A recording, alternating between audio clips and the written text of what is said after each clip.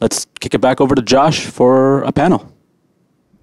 Ladies, thanks very much for uh, joining me this afternoon. Good afternoon, and uh, yeah, welcome to the Good Lawyer Summit. I'm looking forward to sharing the spotlight with some other people here for a minute, bring my uh, blood pressure and heart rate down a little bit.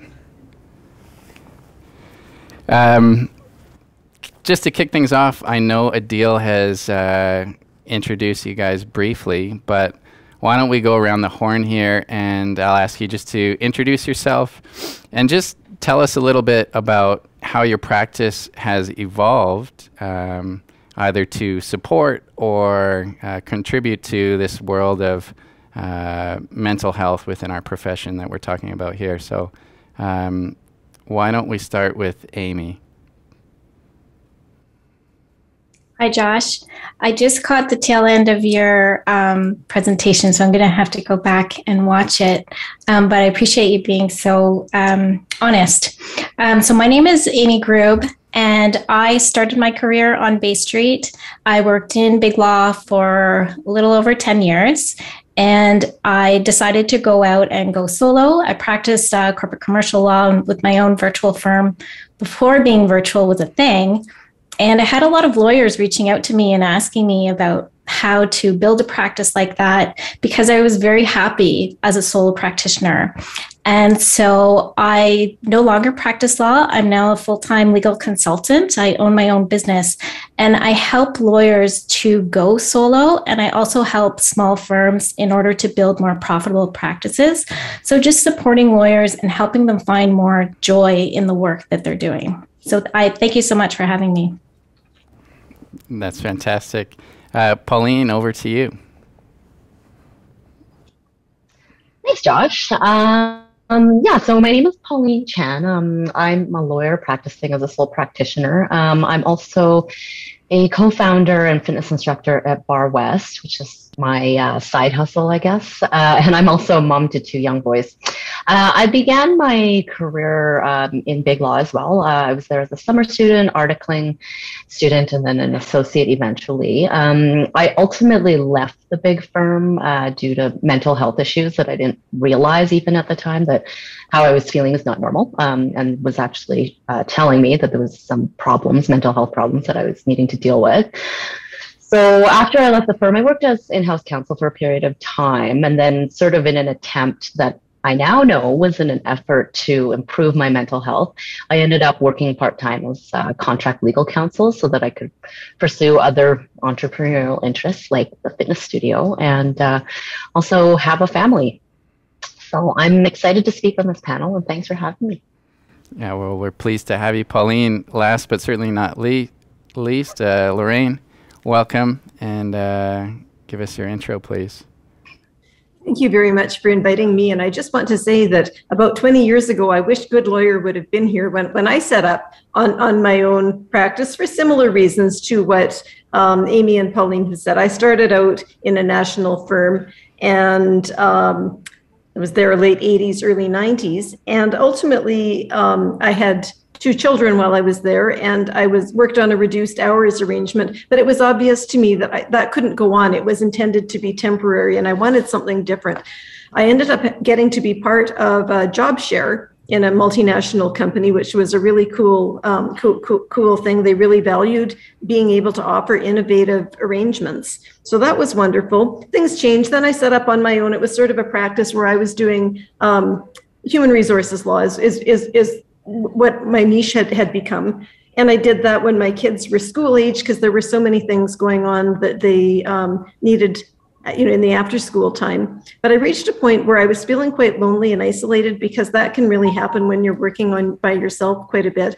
So I, I, I decided I needed to get a job so that I, I, took a job at the law society because it was available and it sounded interesting and I, I ended up designing their early interventions program, which was really looking at how lawyers were doing, you know, in, in terms of the kinds of things that were causing problems for them. But then when the opportunity at Assist opened up, it was just sort of a combination of the um, the things that I really wanted to do and to really be in a position to help lawyers as, as early on as, as, as possible. Um, I, I, really think that as lawyers, we are intellectual creatures and we need to present a lot of evidence based information about mental health issues because you know, it, it's it's lawyers can be a bit resistant to something like that that's a bit softer.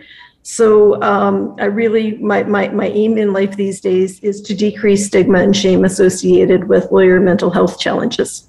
Thank you. Awesome.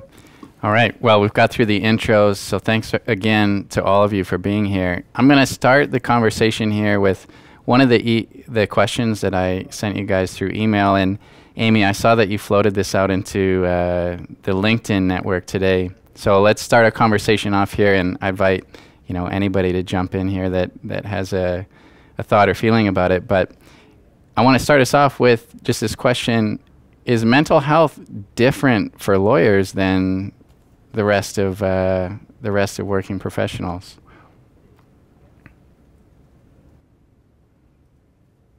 The reason why I, I uh, posted it on LinkedIn was because I didn't know the answer. So I was hoping someone would give me a hmm. really great answer. But um, in in my opinion, I think that lawyers, in for the most part, we're always helping other people. We're always helping to solve other people's problems, and so who then helps the lawyers? And so I think there is at the end of the day, I think that there is a bit of a difference for lawyers, but at the same time, we all come with it with our own unique circumstance. So just because we're a lawyer doesn't make us any different from anyone else. Um, but the nature of the job is it's a, it's definitely a tough job, uh, depending on your practice area as well. So if there are law students on here who are thinking about different practice areas, you may want to think about what that looks like. So I've worked with quite a few family lawyers who are done with litigation. They don't want to be dealing with spouses who are fighting and trying to, you know, put the children up. Um, you know, as a negotiating point. And so they've changed their practice so that they're no longer going to court. So it's just, you know, different things um, to think about when you're going into the legal profession and also when you're in it as well. Loraine, you sent me um, a great slide over the weekend that um, I think is part of your assist material. So maybe you can pick this up. I'm sure you have some thoughts about how mental health is different or maybe the same for lawyers and, and the rest of the public? Well, I, I did spend some time thinking about this, and my first reaction to, to, to the question is that um, sometimes w- w- when lawyers look at things, we, we have a little bit of a, I'm going to use the word nar- narcissistic perspective and thinking that, you know, as lawyers, we are special and, and unique. Um, and, and we are an ego driven profession. We're driven to success. So that's not totally, totally surprising. But um, I, but I think the actual issues that lawyers face are the same. Um, the issues may be more intense because of the stress that lawyers face and the very high expectations and our absolute feel of fear of failure because we've been taught that failing and mistakes are are, are, are bad bad things. But once you peel a few of the layers uh, uh, uh, back we really have the same general issues depression anxiety burnout relationship problems substance misuse. Um, we have lawyer 12 step groups in Alberta. I'm pretty sure these groups exist in, in other provinces. I know we have people from across Canada, which is wonderful. But a lot of the, the 12 step groups will say, no one is unique and no one is special. When you have an addiction, you are addicted to that substance. And it's the general healing um, that, that happens, but you're not special because you're a lawyer as opposed to a maintenance worker. So, um, I think that the issue that I really see in terms of lawyer mental health that may differentiate lawyers from other people is that lawyers defer seeking treatment longer. And, and Pauline alluded to that, and we see it all the time. And that's partially because of shame and stigma. And we, some of us aren't very knowledgeable when we're practicing law about me- mental health um, issues, but it works against our recovery the longer we wait before we seek help. Um, general rule is, is, is that the sooner that you can get help for a problem, the more easily it's resolved. So, what we see now, and the pandemic has just made it worse, is a lot more lawyers who have multifaceted issues and that are more deeply ingrained, meaning that it's going to take longer to resolve. So that's my convoluted answer to your question. No, Thank you. Th- thanks for your thoughts on that. Uh, Pauline, let's give you a crack at this same one. And then, uh, Loraine, you just mentioned a thread there that I think I, I will pull on as we move forward here. And we'll maybe just talk a little bit about how um, pandemic may have exacerbated or uh, just kind of shone a light on things in a way that maybe was not the case before. But before we move into that, Pauline, um, what's unique about mental health for lawyers, or maybe not so unique? Uh, so I would say I'm I'm with Loraine when she says that you know I think the the general uh, issues I suppose when you peel back the layers, depression, anxiety, um, those things are not different. But I do think that unfortunately the um, the big law environment, and I think maybe more generally, even as a profession, we tend to sort of normalize uh, the, an environment that's not really great for mental health and doesn't doesn't promote seeking help for it, doesn't teach um, teach any of us what it what this these issues start to look like and how we can recognize when these issues are starting to affect us when we're working or in our you know day-to-day life or whatever it may be. So i i think the issues themselves are, themselves are not different, but I think as a profession and maybe the certain working environments like big law really contribute to it and, and make it worse. So it's like I was saying to Loraine earlier, I didn't even realize that when I, one of the associates in my group had, had gotten into a serious um, accident, was injured in the hospital for a month. She couldn't work. I talked to her and I remember telling her that you're so lucky. I wish I could be just just as injured so I could be in the hospital so I don't have to work. And she said, I actually feel pretty good about this in some ways. I'm in a lot of pain and all this other stuff, but I actually feel okay knowing that I don't have to be at work. And neither of us realized at the time that this isn't normal. These things that we're thinking and talking about, not okay. But, you know, for us, it's like, well, this is the only way to get out of work. I mean, vacations won't do it. No other way will do it. So I guess injuring ourselves to be in the hospital is the way to do it. So you know, and this is, I mean, this is a little bit of time ago, but it wasn't that long ago. And to me, neither of us recognized that this was an issue that we needed to address. So I think, unfortunately, the environment and the profession contributes to it a little bit. Um, that makes it worse, I guess. And in some ways, we don't know about it. We don't know enough to do anything about it. And then when we do want to do something about it, what does that look like for us? Does that mean we don't have work? Does that mean we get, you know, we're no longer a preferred associate to work with or whatever that that might look like. Yeah. Um, so a couple of things there. Um, the comment that you made about sort of normalizing things that should not be normal, um, that certainly resonates, and you know that was very common sort of elevator talk. Uh, was just really how normal it was to feel um, sort of so beat down by the amount of work that you had or the pressures that you had in your in your day to day grind, but you know, it's good to be busy, and and you just sort of shrug that off and, and get on with things. So I want to actually kind of combine a couple of different thoughts here, um, returning first to sort of this um, maybe change um, for the good, maybe for the worse around mental health and wellness in this COVID context, like Loraine had mentioned. And I'll say that from my own perspective um, on sort of the normalizing um, feeling bad and normalizing, you know, uh, poor mental health and well-being because that's just part of the job. I can say that one positive impact that uh, the pandemic and COVID restrictions and lockdown had in my own experience while I was in the big firm at the time was that um, it was thrust front and center.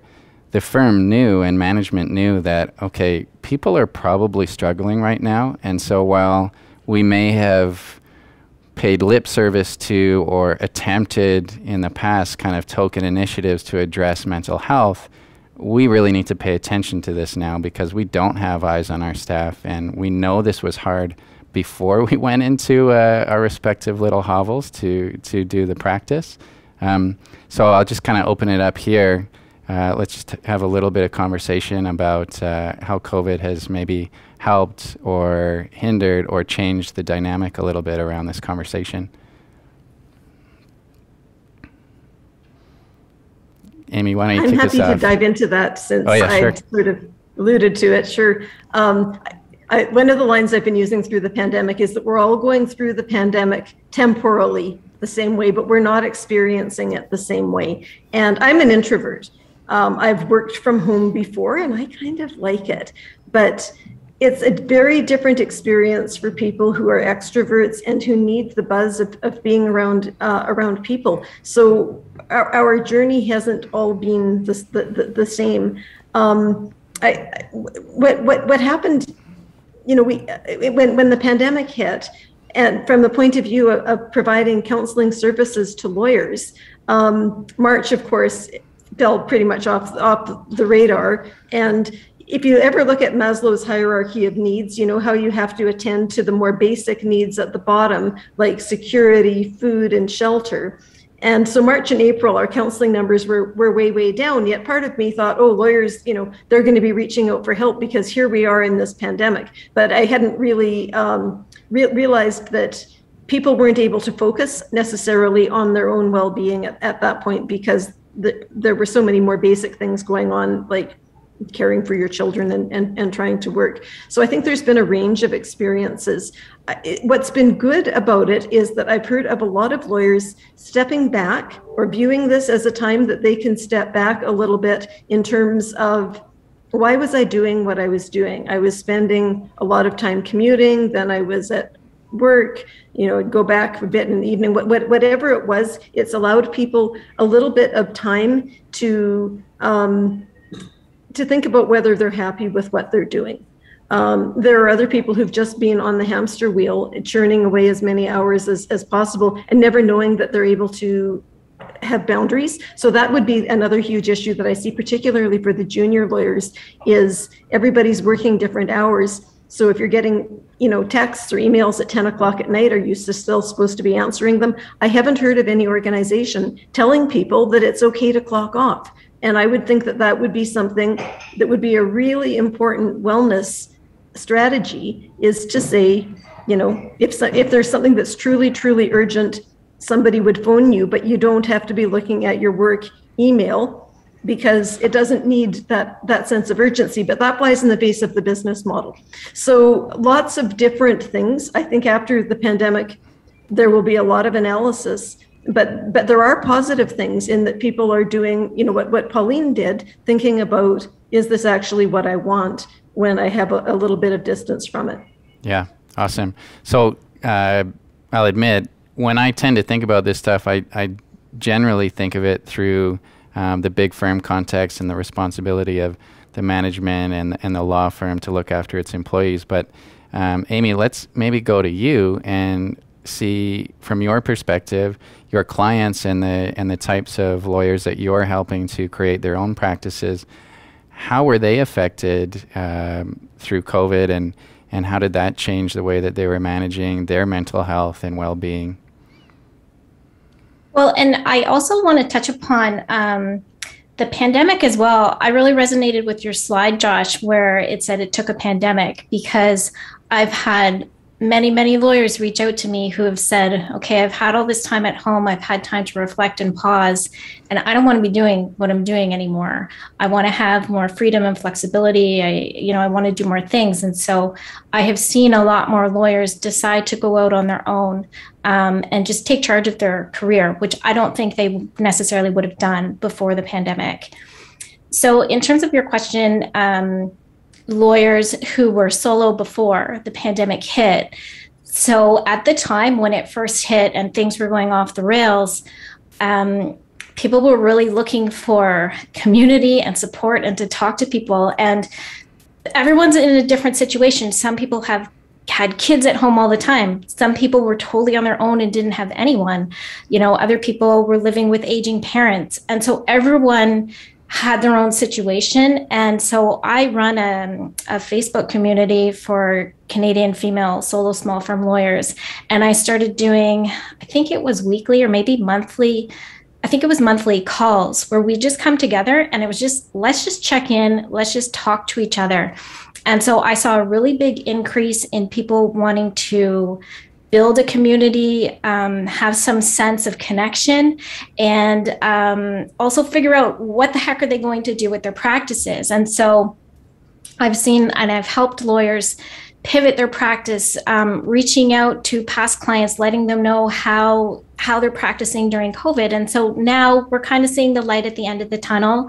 Um, people have been a bit creative, but most of the solos that I'm working with are very, very busy right now. So um, the pandemic at first caused a lot of craziness and now it seems to be settling down a bit and people can really um, anticipate what's going to be coming um, from a financial point of view um, looking forward whereas before it was really hard for them to do that yeah great uh, pauline any any thoughts and maybe in your own practice um, how you kind of adjusted um, within the covid context and i know uh, we actually connected with you as as one of our you know top good lawyers within this COVID context. So you know, for us, um, that was a fantastic thing, and and certainly. Um, we've been able to connect with, I think, a number of lawyers across Canada in a way that maybe we would not have been able to in the same way without sort of that impetus of lawyers looking for, oh, shoot, the world shut down. How do I go out and uh, build a practice and meet clients and that type of thing. So, why don't you tell us a little bit about your experience in this context?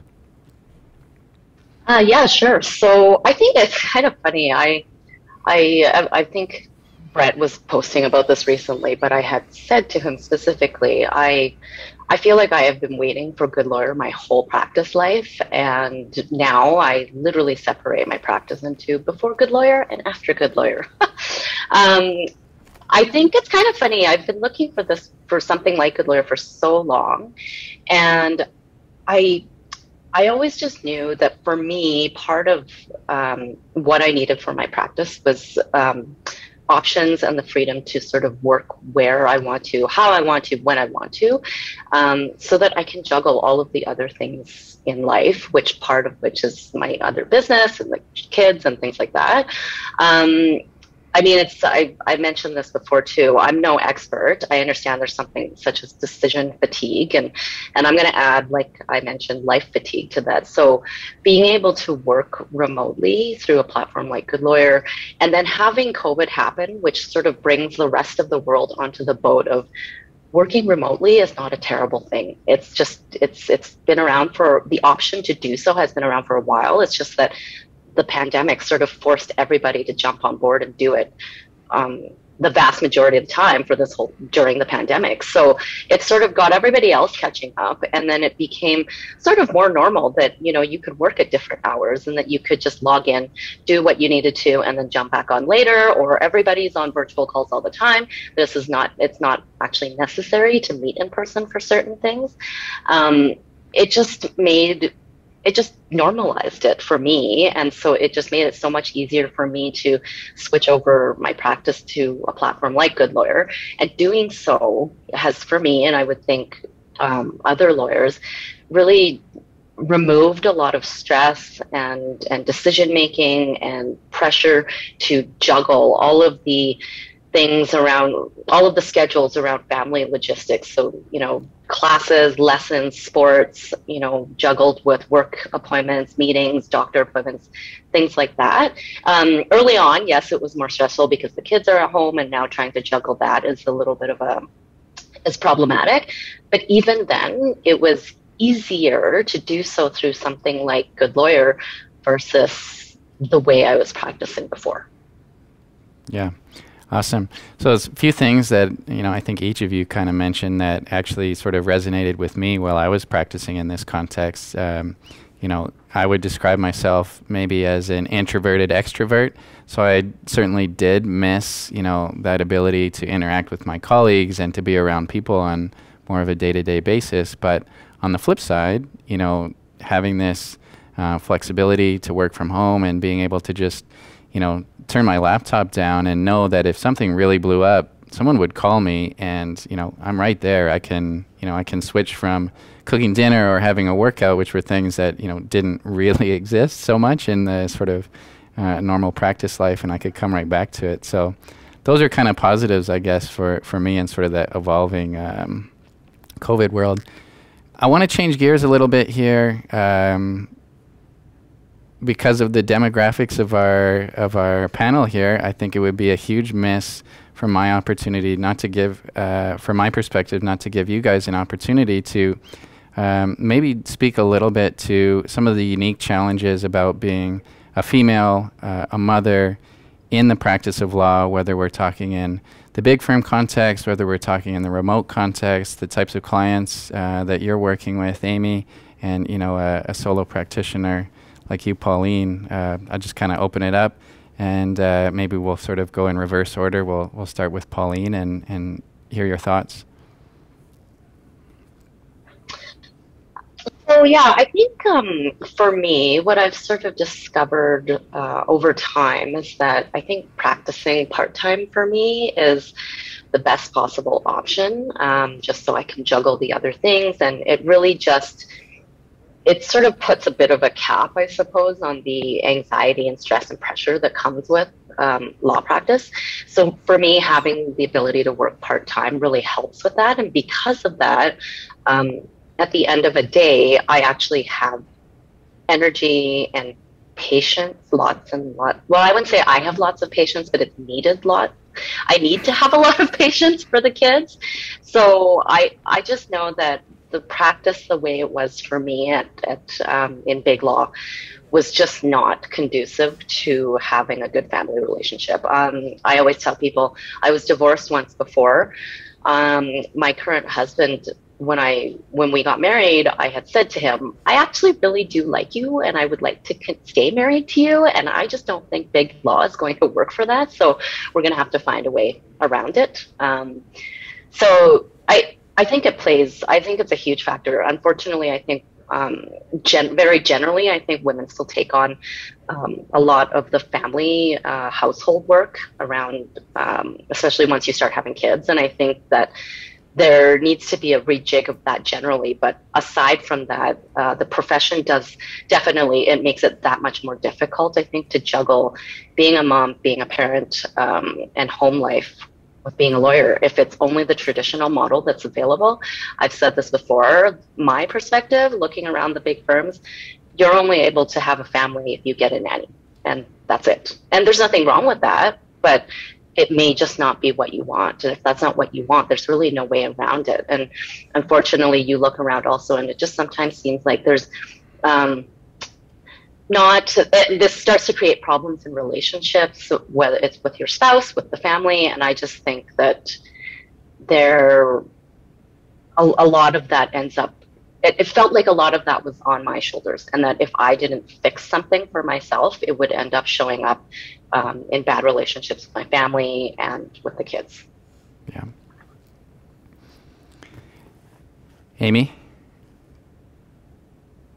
Oh man, I don't even know where to start. So I'm actually reading this book. Um, it's called, I think it's called The Lazy Genius Way, and uh, so she talks about how to build routines and things into your life. She has a podcast. It's really interesting, um, but she talks about living in your season. I was just reading it last night, and like right now my season is bonkers like i've got three kids work full time it's a pandemic like and but i'm learning to just embrace it and i'm learning to ask for help. So i will ask friends or neighbors or you know my spouse or whoever for help. But um, it's an interesting book and you just kind of have to accept where you are and then you you move on to the next season of your life.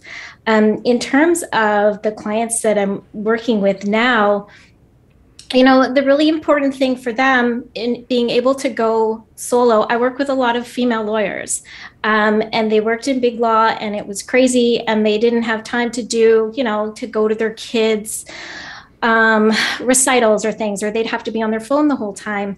But once they've gone solo and they're their own boss, so they pick and choose who they want to work with, when they want to work, they can actually take a vacation and go on a vacation. And so it just allows for lawyers to have more freedom and more autonomy and more flexibility and um, that's why I really like the Good Lawyer platform for solos because it helps lawyers to pick and choose when they want to work. They can turn their availability on and off literally with a button. And it just allows for lawyers to have more control over their lives. And you don't have to, even you know, as a solo, you don't have to explain to people why you're not available. You don't have to tell the managing partner you're not coming into work. It's your business. You can do what you choose to do and you can turn it on and off as you please. Loraine, I want to squeeze in one other question here, and then I'd, I'd like to end on kind of a, a bit more of a proactive note where, you know, maybe we'll share some of our tips and tricks here for how we can sort of manage our own uh, mental health and well-being. But Loraine, I have kind of a, a hardball question for you here. Um, can we ever really make meaningful gains with respect to mental health and well-being in our profession without structural changes to the practice of law? So dealing with things like the billable hour and addressing, you know, for me, which, you know, I frankly I could not really get over, which was fundamentally the adversarial nature of our profession. So, can we make meaningful change, meaningful gains in mental health without addressing some of those structural forces? You know, I think that we start out, we're at a level right now where individuals are making changes to have positive impacts on their, their, their, their mental health. And we're seeing people who have opted out of what a conventional model is, which is you work at a large firm and um, there's a certain amount of work that's coming in and you have a certain amount of prestige and all, all, all kinds of, of things. Um, but some people appear to thrive in that model. We uh, there are, I would say, more people who don't thrive in in that model. So we have the problem that we have people who are saying, "Well, this is a perfectly good model and it works for me." So you know, anyone who doesn't like it, well, I guess that's a personal choice. Um, unfortunately, the model that we have um, I, I, if you look at the, the model, I think it arose in the like the 1950s and 60s, and it worked for lawyers who had this wonderful support person at home called a wife who took care of a whole bunch of things for them. And um, I think women lawyers do have a different experience, and I think Amy and Pauline have really hit on that. But the model hasn't evolved, and instead, we have people working crazy and crazy crazier hours, you know, to, to, to get ahead. So um, and the, the problem that we have is that we're told from very early on in law school, the students are told that these are the jobs that you want. This is what success is. It's working at a, at a big law firm. And there's actually research that shows that when law students enter law school, they have about the same rate of depression as the general population. And there's a shift, about a third of them have suffered depression by the end of first year law school. But there's also been a shift where they lose their internal motivation and the reasons that they wanted to go to law school to make the world a better place and to help people. And it's replaced by what they term appearance values. So, what are your grades? Did you score an interview with important firms, your car, your house, all of those things that, that, that flow out. So I personally, I believe we have to go back to law school and the early days and ensure that students are getting a balanced exposure um, to what opportunities are, are, are like. And some people may choose to try the big law model, but we really do have to look at it from an EDI perspective because it appears to work for a narrow section of the population and not so much for people who have a little bit more diversity, and I'm including women in, in that. So uh, the, the problem that we've got is there's no way of forcing change. The people who are, are there working long hours and making a lot of money, some of them think it's, it's a great system. So I think what we need to do is empower and educate lawyers and law students about the wonderful opportunities that they can have if they value themselves and having time to feel like a whole human being and not just a paper cutout of a lawyer. I guess you can tell where my bias is on, on, on, on this. So I, I really think it's an education process, and um, we have to show that the brass ring isn't really what it is. The expression I've been using is that there's a platinum ring, and the platinum ring is having a legal practice that you feel good about the work you're doing, you're making enough money to satisfy your needs, and your life is balanced as a whole.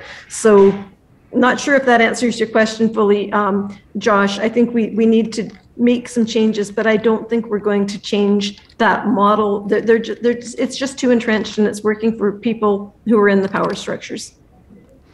Yeah, thank you for that, Loraine. I think you and I share certainly uh, a similar bias in respect to that, and you know some of that research that um, you're citing there, talking about you know how early in the process at law schools and that type of thing is kind of changing our conception and the way that you know we wanted to approach the practice of law and that type of thing. That's exactly my story. And when I kind of uncovered that research, uh, you know, in the process of preparing for this, that like really, really hit home with me. The next time we do this, I would very much love to have um, you know some representation from Big Law because it's a bit easy to make a straw man of them here, where they're not a part of the conversation. But you know, my general feeling is uh, similar we won't have meaningful um, meaningful evolution and uh, gains with respect to mental health and well-being in the profession unless we're addressing some of those structural features and you know each of the three of you play you know a really important role and have uh, kind of moved out of that structure, seeing that it was not going to change, and found other ways to, you know, use your legal practice and your legal education to kind of add value and and still sort of leverage those skills that you've developed. Um, we've got about five minutes left here in our conversation, and like I said, I I do want to end on a bit more of a kind of a proactive and, and lighter note. So maybe we'll start with you, Amy, and could you just speak to in your own day to day what are some things that you do that you focus on to sort of uh, prioritize your mental health and your well-being uh, with you know this very busy life that you have going on? Uh, consultant, lawyer, mom, wife. What does that look like? Um, I I also want to point out um, a Facebook group that a lawyer started. Uh, Tanya Parker Wallace uh, has a Facebook group called Lawyers Mental Health Support um, which is a great resource for any lawyers who are interested um, and need some more support. I also listen to a lot of podcasts. Um, the Happy Lawyer podcast by Catherine Scherer. She's a lawyer in Guelph, I believe. Um, it's it's a great podcast to listen to as well. Um, personally, I try and get away um, maybe once a quarter, all by myself. Um, I'm fortunate to have a cottage in the middle of nowhere, and I go sometimes for the whole weekend, and I don't talk to anyone. I don't do any work. I just read books and sit by the fire. It's wonderful. Um, I also ask for help from people, and I don't always hang out with lawyers because I find sometimes we kind of talk lawyer talk and it gets depressing. And so I hang out with a lot of people who are not in the legal field. Um, and then lots of exercise and fresh air as well. Awesome. I like that. Pauline, over to you. Uh, so for me, I guess it's two main things. Um, mostly on a day-to-day basis, I, I find I really need to focus on on sticking to the basics. So that that's the typical sort of stuff where you're talking about, you know, making sure you drink enough water, eating healthy, eating at regular intervals, exercising. Um, I think like you know you do your best on a day-to-day basis but i think it's important to remember that this is sort of a this is a long-term effort really and so you know i i try really hard not to berate myself when i miss a workout or if i don't drink the water or if I'm just not eating. This all requires a lot of planning and, and thinking and organizing, but at, you know, but at the same time, you do all this work, but at the same time, I just feel like it's important to be nice to yourself and just recognize that it's a long-term effort. Um, and not so much day to day. The other thing I think is really important that I try to do is I'm constantly looking out for um, why did I react that way? Why am I behaving this way? A lot of self awareness, thinking about sort of where my triggers are, where the, you know, when I know that things are starting to go sideways. And then so I can, when I recognize that, then hopefully I can take the steps to avoid things going down into a deep dark hole kind of thing. Um, but it's it's an everyday sort of situation. And when you start to see that things are going sideways then to ask for help whether that's you know getting help from another lawyer getting um, more help from my husband or my family for for things or if it's that i need to talk to somebody about it. Nice And Loraine, I'll reframe it slightly for you, and I'll give you an opportunity just to speak to some of the services, solutions, and support that Assist offers for lawyers to, you know, help support the, the mental health and, and well-being journey. Well, I'm happy to, to talk about that. Um, and, you know, I know we have people from all across Canada, and you have a lawyer's assistance program uh, where, where you are. Um, there's no uniform model, so it you'll want to check carefully to find out what, what your what's available in, in your province. Um, we are a pretty proactive one, so we provide professional counseling, and they're registered psychologists with, with at least 10 years of clinical experience before they're admitted into our program. And they work extensively with lawyers and accountants. So they understand the professional services firm dynamic and the common stressors and the terminology because nobody wants to spend half of their counseling appointment explaining what a chambers application is. So um, g- great if, if you can talk to some counselors who know what, what the stressors are. Um, we, we have a crisis counseling line too, which is really important. 24 7, you'll be connected to a psychologist uh, because we know that bad things don't only happen during the, the, the daytime. Um, we run a peer support program, so we connect a lawyer who's going through a, an issue with someone who's been through that issue or has insight into it.